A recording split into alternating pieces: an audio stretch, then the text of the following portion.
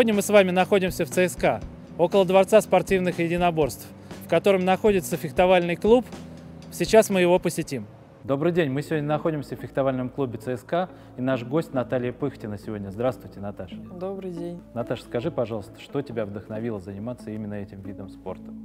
А, ну, однажды мы с дедушкой сидели и смотрели летние Олимпийские игры, и как раз э, там был такой замечательный вид спорта, как фехтование, было как раз женское фехтование на шпаге, и мы решили, что можно попробовать меня в этом виде спорта.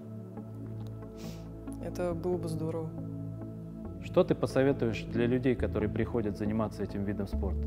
А, ну, я посоветую просто почаще ходить на тренировки, так как, э, может быть, сначала как бы ты особо не, не вдохновишься этим видом спорта, но как только вот ты начнешь ходить все чаще и чаще, тебе будет гораздо больше все нравиться, то, что у тебя начнет получаться. Вот. А по поводу выбора оружия и вот э, вообще фехтования, то есть, ну, куда вот саблю, рапиру, шпагу, мне кажется, что надо просто понять, какой тип темперамента у человека, Потому что если в сабле, например, э, то должен быть какой-то взрывной тип, тип темперамента. То есть там передвижения все такие взрывные. И характер должен быть такой вот, ну, в общем, ну, взрывной. А в рапире же наоборот, то есть там поспокойней, но э, все должно быть обдуманно, то есть все через оружие, все там вот, э, надо именно какие-то определенные действия производить. А в шпаге же, мне кажется, что ну, может пойти любой как бы, тип темперамента, потому что там есть разные стили фехтования. То есть как спокойный, а, ну, не трогающий никого, да, то есть как бы, так и взрывной, да. И любой может быть э, суперским и прокатить вообще на все сто процентов. В современном спортивном фехтовании три вида оружия – шпага, рапира и сабля. Все они отличаются друг от друга. Сейчас мы рассмотрим каждый из них – шпаги трехгранный клинок. На одном конце гарда, который защищает руку от ударов и уколов. На втором конце кнопка, которая фиксирует укол. И ручка. Фехтование на шпагах можно колоть во все места противника. В отличие от э, рапиры и сабли. Давайте посмотрим теперь саблю. У сабли плоский четырехгранный клинок и гарда, которая защищает э, пальцы от ударов. Потому что в основном удары идут, а не уколы. Хлещущие. Хлещущие, да. А, в фехтовании на саблях область поражения по пояс человека. То есть считается и голова, и руки. Наносимые удары считаются в голову и в руки. И давайте посмотрим теперь рапир. У рапиры четырехгранный квадратный клинок. Она гораздо легче, чем шпага. А, у нее меньше гарда и кнопочка на конце, которая тоже фиксирует укол. Фехтование на рапирах, область поражения – это туловище, не считая руки, ноги и голову. Эти уколы не считаются недействительными. Наташа, скажи, пожалуйста, что нужно, чтобы начать заниматься фехтованием? А, ну, я считаю, что прежде всего нужна мотивация в человеке.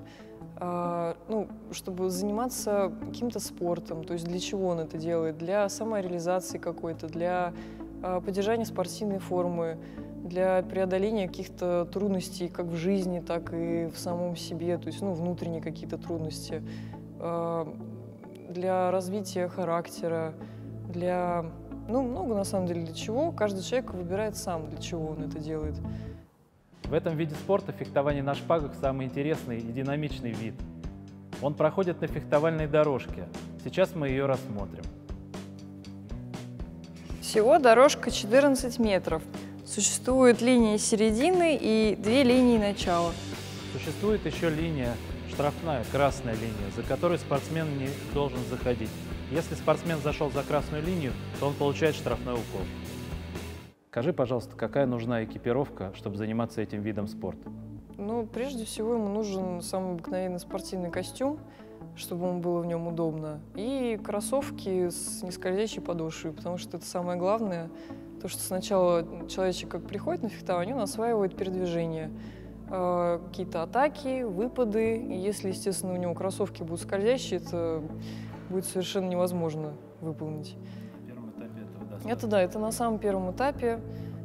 А потом уже на более позднем этапе нужно, уже нужен будет э, костюм фехтовальный, э, защита вся полностью, гетры, чтобы фехтовать, э, шпага нужна, собранная электрическая, маска, перчатка. И, ну, и шнур, естественно, чтобы подключаться как-то к аппарату и чтобы уже было видно, кто уколол, кто не уколол. Вот. Скажи, пожалуйста, какие плюсы и какие минусы этого вида спорта, твоего хобби? А, плюсы — это, конечно же, то, что у тебя развивается характер, а, чувство ответственности, чувство времени. А, ну, много вот таких вот составляющих, которые вот, ну, для обычного человека сложно развить где-либо. Ты начинаешь заниматься спортом активно, то есть ты подкачиваешься, ты приобретаешь какую-то спортивную форму. Это очень здорово ты начинаешь следить за собственным здоровьем, за питанием, возможно, даже, чтобы как-то вот, ну, чего-то уже начинать достигать. А, ну, минусы, скорее всего, это приобретение дорогого мундирования, вот. Но, тем не менее, как бы наш клуб может э, как-то помочь, выдать или нам, ну, что-то, да, да, на первые, как бы, на первых порах, чтобы позаниматься, чтобы понять вообще, как тебе нравится фехтование, не нравится. Вот. Ну, как бы нас могут помочь. Всего э, какие-то травмы, но это если, естественно, не заниматься заминкой после тренировки. А мы обычно выполняем заминку. а также возможно, что если ты правша, то правая сторона твоя может быть, то есть как нога, так и рука, чуть больше, чем левая. Ну, естественно, если левша, то наоборот. Но опять же, если не заниматься заминкой качественной, то возможно, что будут такие проблемы. А так, в принципе, больше минусов я не вижу. Перед началом боя противники должны поприветствовать друг друга и судью.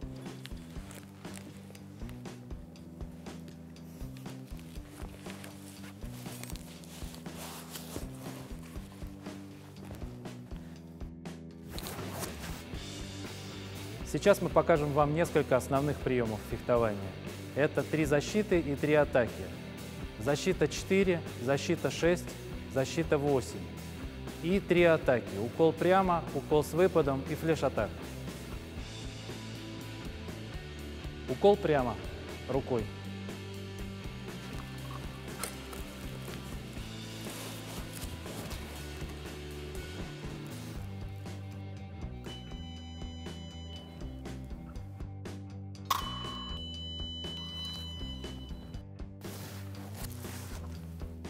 Укол с выпадом.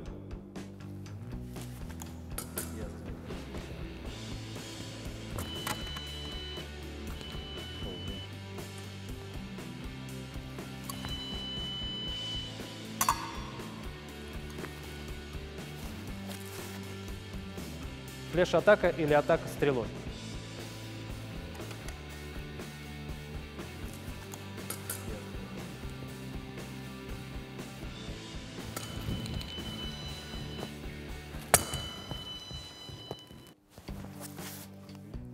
Атака прямо, защита 4.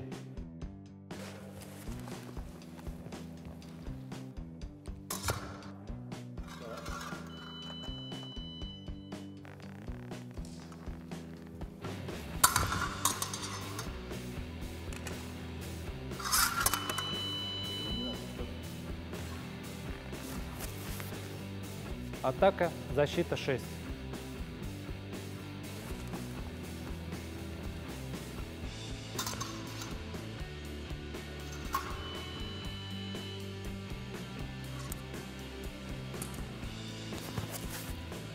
Атака, защита 8.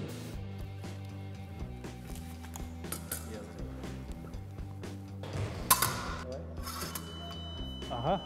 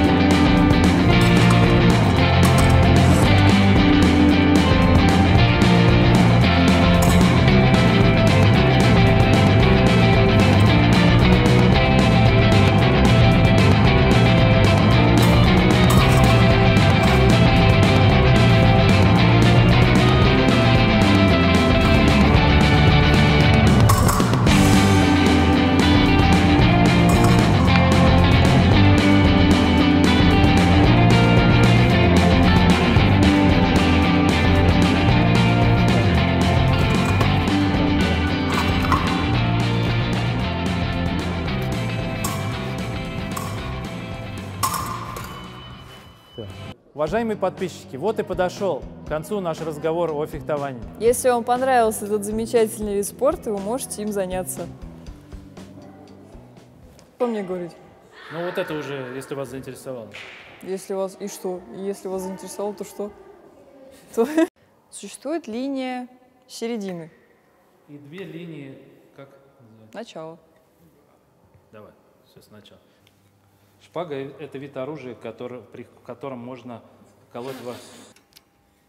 У шпаги трё-